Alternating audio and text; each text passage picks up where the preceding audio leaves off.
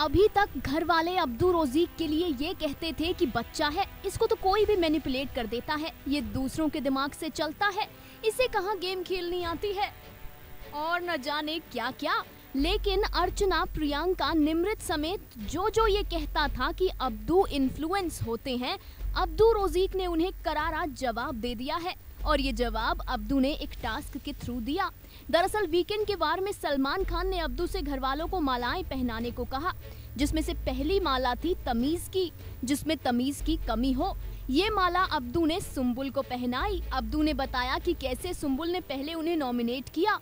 फिर ड्रामा करने लगी कि मेरे फैंस अब्दू को वोट करके बचा लेना। अब्दू ने कहा कि ये मुझे बिल्कुल अच्छा नहीं लगा। इसके बाद अब्दू को मिली दिल का काला। ये माला अब्दू ने शालीन को पहनाई और वजह दी कि शालीन बहुत फेक बनकर रहते हैं। ऐसा लगता है जैसे वो एक्टिंग कर रहे हैं। तीसरी माला अब्दू को मिली, दिमाग की कमी की माला। और ये माला अब्दू रोजीक ने अंकित गुप्ता को पहनाई। अब्दू ने कहा कि ये बिग बॉस में आए हैं, लेकिन जब देखो प्रियंका के साथ रहते हैं और पेड़ के नीचे ही बैठे रहते हैं तो देख लो घर वालों अब्दू रोजीक सब कुछ नोटिस करते हैं। बल्कि हम तो ये कहेंगे कि अब्दू स्मार्ट हैं।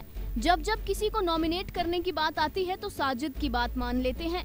लेकिन जब अपना स्टैंड लेने की बात आती है तो अब्दू बुलंद आवाज़ के साथ अपनी बात रखते हैं। नॉमिनेशंस में पढ़कर बुरे भी नहीं बने और स्ट्रॉन्गली घर वालों से अपनी बात रखकर ये साबित भी कर दिया कि वो बच्चे नहीं।